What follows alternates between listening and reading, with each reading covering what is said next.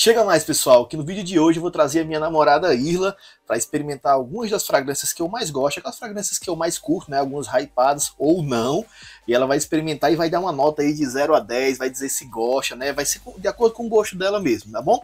Tá pronta para experimentar essas fragrâncias? Não, mas antes eu queria pedir a você que não é inscrito para se inscrever aqui no canal, né, você que caiu de paraquedas aí, gosta desse tipo de conteúdo, para deixar o like nesse vídeo, nos vídeos que você assistir e ativar o sininho também para não perder nada. E a gente vai começar com a primeira fragrância masculina que ela vai experimentar. Ela vai experimentar vendada, certo? Que é para ela não saber qual é o perfume que eu vou estar tá borrifando. Aí ela vai dizer se gosta ou não e depois eu mostro. Eu odiando todo, no final. depois eu mostro o perfume para ela. Então vamos começar. Essa aqui ó, é a primeira fragrância, eu vou deixar o nome aí embaixo, certo? Que ela vai dizer se gosta ou não. É, eu vou borrifar aqui para ela sentir. Na fitinha mesmo, certo? Vou segurar aqui a fitinha, minha gatona, isso. Sente aí, certo? Essa fragrância. Hum, deixa eu ver. Tem que dar uma nota, né? gostou, pelo menos? Gostou, é não gostou? É bom? Eu acho hum. que eu vou começar dando um 7. Um 7. Porque eu achei bem, bem refrescante. Eu achei bem... refrescante. Esse, esse, esse, perfume aqui é o Armani Code, aqui é a versão de Parfum, é uma das fragrâncias mais românticas de todos os tempos. Em 2004 ele foi lançado a versão original, né? E em 2006 ele ganhou, inclusive, a, da Fundação da Fragrância, a premiação de melhor, melhor fragrância do ano e tal. E lá pra cá vem sendo muito vendido em vários flancos. Isso aqui é a versão Parfum. Na verdade, vão lançar a versão Parfum. Essa aqui é a versão Old Parfum, né, do, dessa fragrância incrível. Mas e aí, você gostou, não gostou? É bom. Por que você deu um 7? Porque eu achei refrescante. Aí um 7 porque é refrescante. o que é esse? Tudo bem, então a Money Code aqui, nota 7. E agora eu vou trazer essa fragrância aqui, ó. A segunda fragrância, vocês de casa já estão vendo, né? O frasco aí, já coloquei também é, o nome aí embaixo. É, vou lá, vou borrifar aqui. Já tá no ar já o cheiro. Ela vai sentir, hum, certo? Segura, não, segura e vai sentindo na fitinha. Hum... Gostou? Acho que sim. Eu tô com medo de dizer. Não, tem que dizer o que você acha. Deixa eu ver. É um pouco cítrico, né? É sim. Não precisa dar os temas técnicos, não, porque a gatona não. É, por mais que ela seja minha namorada, ela, ela tem vários perfumes legais, mas ela não é muito, não tem não. nada assim na perfumaria, não, certo, pessoal? Por isso que eu trouxe ela, que eu acho que o importante é dizer se gosta ou não gosta. Eu gosto, entendeu? mas eu não gosto muito de perfume cítrico. Então... Tá, é o seu, mas ele tá. É, você diz, é melhor do que o outro, não, se for melhor, nota maior, se for pior, nota menor, já tem como base, né? Sim, deixa eu ver. Eu vou dar um 6. Deu um 6. Então você gostou mais do outro perfume, não é isso? É. Então tira, tira a venda. A galera da internet vai lhe crucificar, porque é nada mais nada menos do que o Salvage da Dior. você deu nota 6. Mas é assim mesmo. Eu adoro esse perfume. Pois é, mas nota 6 você deu para ele. E assim, o pessoal na, na internet é, é e cá, né? Acha que essa fragrância tem cheiro de sabão em pó. Muita gente acha isso, critica dizendo que é só cheiro de sabão em pó em alto preço, né? Mas eu achei meio cítrico. É, mas é, tem uma saída cítrica. Ele tem uma, uma, ele tem uma bergamota na saída, ele tem uma lavanda. A lavanda dessa fragrância é incrível, não dá para copiar, né? Tem uma saída bem diferente mesmo, a evolução também é muito gostosa. Eu tô chateada agora. Eu, eu ah, gosto. mas é isso mesmo. Mas segue você vê, né? Deu nota 6 aqui para o Salvage da Dior. E a gente agora vai para o terceiro perfume. É da Dior, né? É cara da Dior olhando para mim. E a terceira fragrância que ela vai experimentar é essa daqui, ó. Vocês já estão vendo também, já deixei o nome na tela aí, né? Quem conhece perfume já sabe pelo frasco, mas eu deixei o nome aí, tá bom? Vamos lá, vou borrifar aqui. Eu vou passar aqui para ela, né? Deixar uma balançadinha para ela já sentir essa fragrância. Uh, não.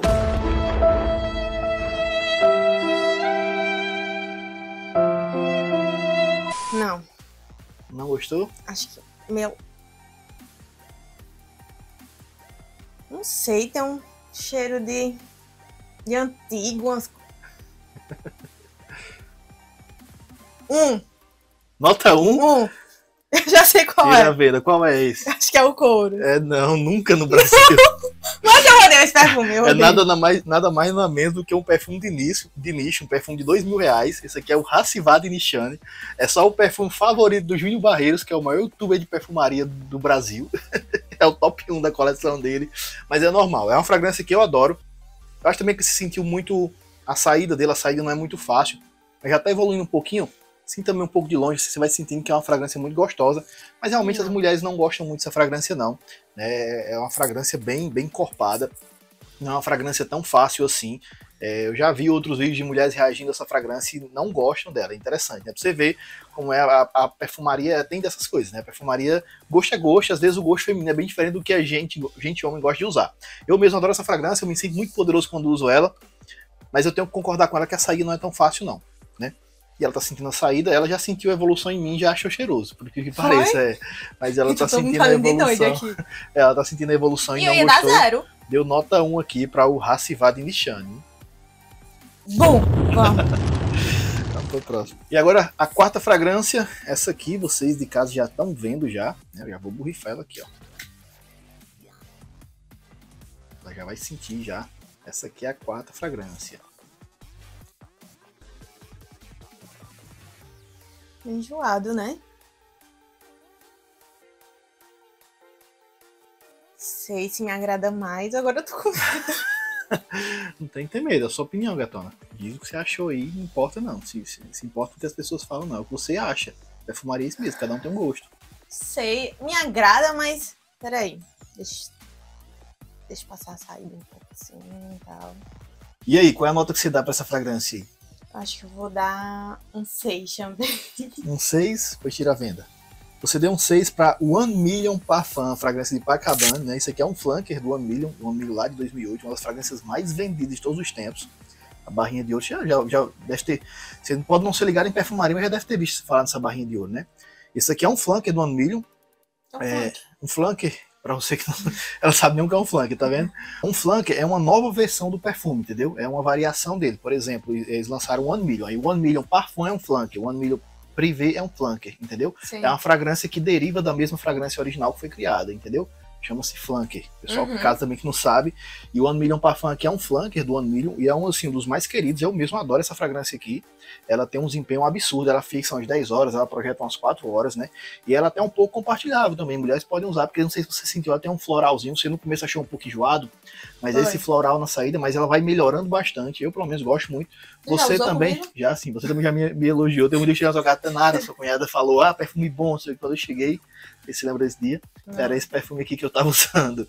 Mas enfim, é uma fragrância incrível. Mas seis é média.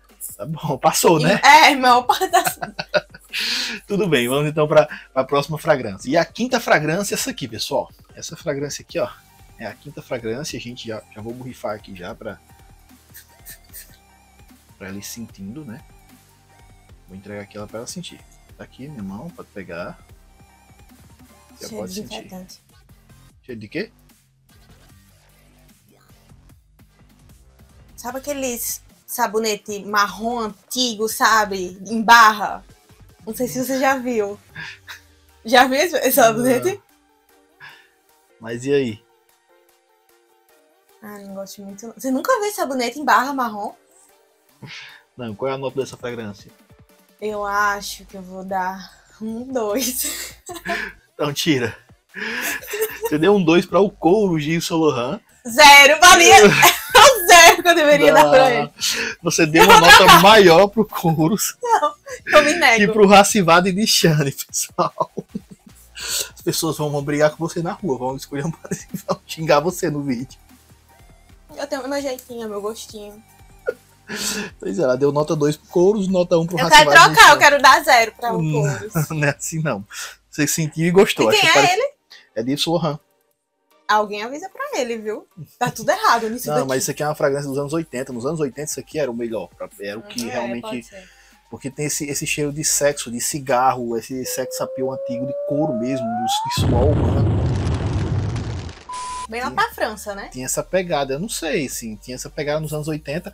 E tanto você disse que era um sabonete bem antigo, muitas muitas coisas tentaram copiar essa fragrância aqui porque era o que tinha sido de referência como fragrância boa. Você nunca viu aquele sabonete marrom de barra? Não, não tô lembrando não. Mas deve ter sido é mesmo. Então vamos para a próxima fragrância. E a próxima fragrância é essa aqui, pessoal. Vamos ver o que ela acha dessa fragrância. Já vou borrifar aqui.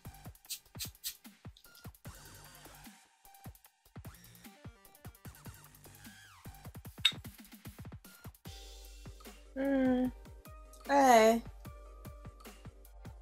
por que, você riu? Eu tô sentindo Nada. que você tá rindo. E aí, o que, é que você achou? Não sei, eu acho que eu gosto. Gosta? Qual é a nota? Você, é, deixa eu ver. Acho que eu vou dar um 8. Muito. Muito bem. É a minha fragrância favorita. É nada mais nada menos do que o Bleu de Chanel. Já usei muito com você. É. Mas eu não reconheci, tô, eu tô toda errada hoje. Pois é, pois é, o Bleu de Chanel é uma fragrância incrível, lançada lá em 2010, é uma fragrância uma das mais hypadas, é uma pena, é uma pena assim que ela é muito cara, né? Ela não tem um desempenho tão bom assim, ela até que fixa bem, né? Ela dura bem, mas ela não tem uma projeção muito grande, ela não vai em outros cômodos, ela não é aquela fragrância que você chega e todo mundo presta atenção, entendeu?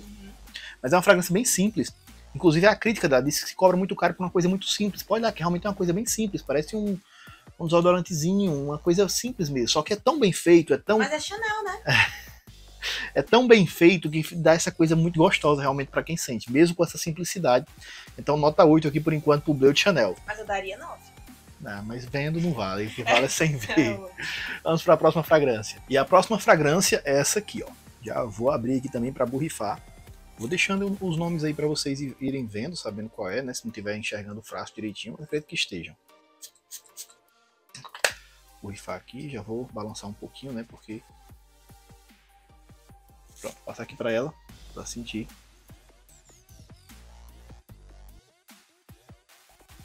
Eu senti de nada. Tá com o nariz já. Deixa eu ver. É bem leve. Ou tô. Sei. Tem como colocar novo? Tem sim. Já tá com um desgaste olfativo também, né? Tirando muito perfume, não sei. Mas eu vou colocar novamente.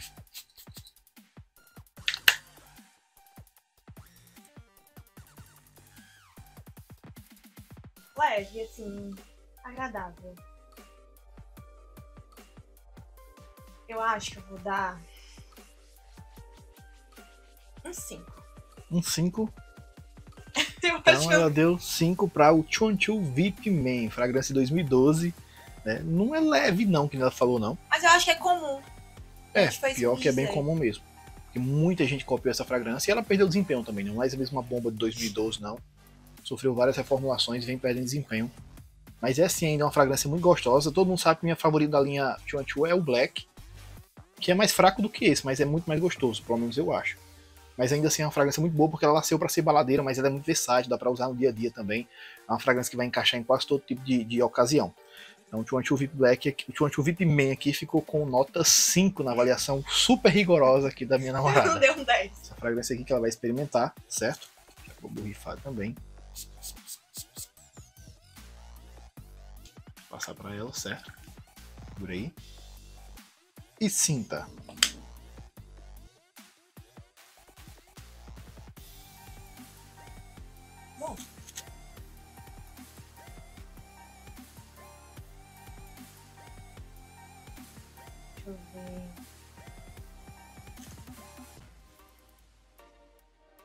Sei. Tá difícil agora. Não, disso você acha. Não se importa com nada não. Não, tá difícil sen- sentir mesmo, assim. É porque você tá, talvez tenha, esteja ficando já com uma fadiga olfativa, né? É bom. Eu acho que eu vou dar um 7. Um 7, Isso. então você deu um 7 para o Ferrari Black, o Escuderia Ferrari Black. Essa fragrância aqui, pessoal, é, é uma fragrância teoricamente barata da perfumaria importada, né? Ela é essa escuderia mesmo, Ferrari Black é de 2013, mas o Ferrari Black mesmo é de, de 99. É uma fragrância que já tem alguns, alguns youtubers fazem na internet na rua com as mulheres, comparando com Bleu de Chanel e com Sauvage, e ela ganha. Né? As mulheres preferem ela, porque é uma fragrância realmente muito agradável. Não é à toa que é muito copiada, tem vários perfumes nessa vibe. E é uma fragrância muito boa. O problema dela é o quê? Desempenho, desempenho muito baixo, muito baixo mesmo. Ela só fixa umas 4 horinhas, projeta 40 minutos a uma hora só no máximo. É uma fragrância que é uma água de chuchu. Muita gente, é, muita gente compra essa fragrância aqui na internet achando que comprou é, uma fragrância falsificada, porque ela é tão fraca, entendeu? Acha que, ah, comprei um perfume falso. Mas não é, é realmente o Ferrari Black, infelizmente, tem um desempenho baixo. Existem muitos outros perfumes no mercado que cheiram igual a ele, bem mais barato, Paris Élysées, La Rive, é, a própria Inondé, enfim, tem várias fragrâncias, o Boss Bottle, são muito parecidas aqui com Ferrari Black, muito mesmo, idênticas.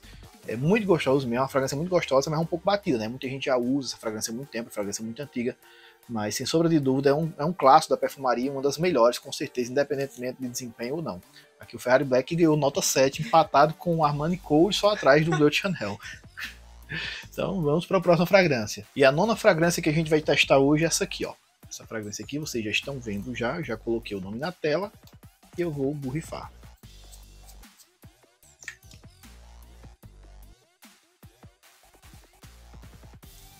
Pode pegar.